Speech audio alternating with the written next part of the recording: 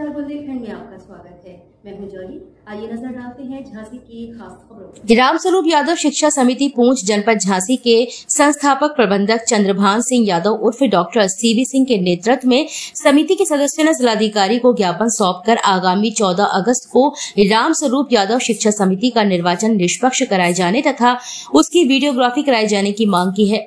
शनिवार को जिलाधिकारी कार्यालय में ज्ञापन सौंपकर डॉक्टर चंद्रभान सिंह यादव ने बताया कि वर्ष उन्नीस में राजनाथ सिंह द्वारा इसका शिलान्यास किया गया था। 300 विश्वविद्यालय में रामस्वरूप यादव शिक्षा समिति महाविद्यालय में टॉप टेन में है। परंतु कुछ लोगों ने उस पर बुरी नियत डालकर उसे विवादित कर दिया है। मुझ पर भी झूठे मुकदमे लगाए गए हैं, जिसकी वजह से महाविद्यालय की छवि धूमिल हो रही है। कुछ लोग उस पर कब्जा जमाना चाहते हैं। इसलिए उस पर विवाद पैदा किया जा रहा है।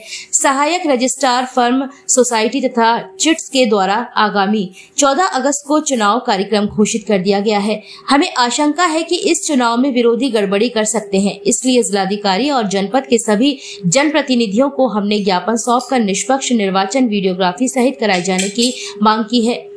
ज्ञापन देने वालों में संरक्षक doctor Chandrabhan Singh Yadav उर्फ़ CV Singh Uday Singh Yadav Govind Singh Yadav Hakim Singh Yadav Dev Singh Yadav Veer Singh Yadav Imrat Singh Yadav Indrapal Singh Ramlala Yadav OP Khare R S Gaur Pramod Kumar Shrimati Neelam Yadav Shrimati Usha Yadav Shrimati Sharda Devi मौजूद रही। भाई साहब क्या नाम है आपका और आप क्यों आज जिलाधिकारी कार्यालय आए?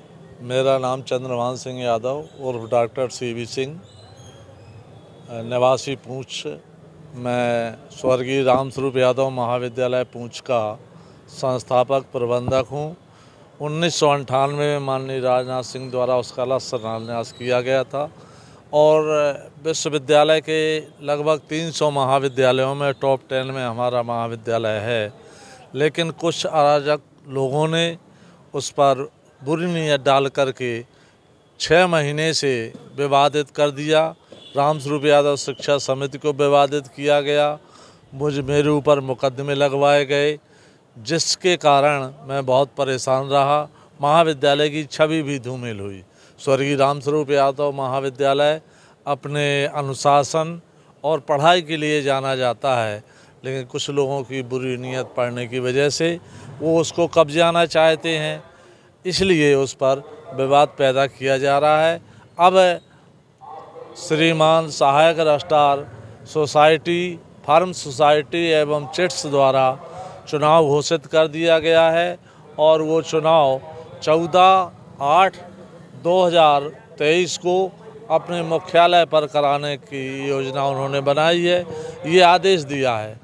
वो चुनाव निष्पक्ष हो, पारदर्शिता से हो, किसी तरह के राजनीतिक दबाव में ना हो, इसलिए हमने पहले से श्रीमान जिलाधिकारी महोदय को सुरक्षा, निष्पक्षता और उसकी वीडियोग्राफी कराने के लिए आवेदन दिया है।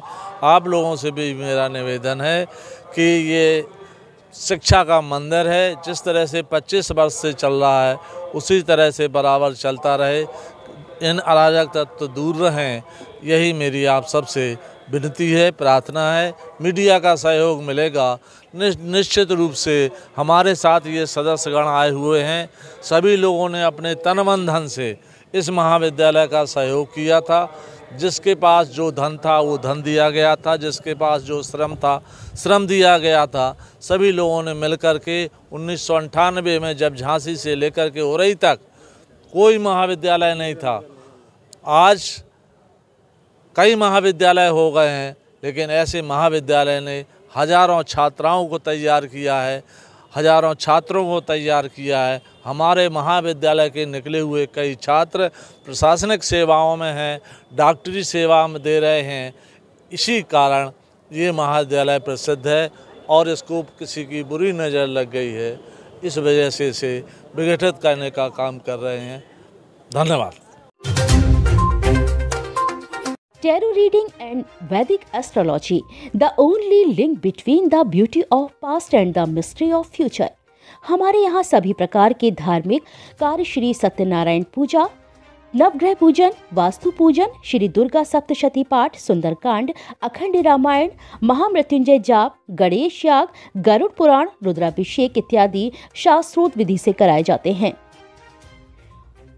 फ़ोन नंबर है 9140127622 7307954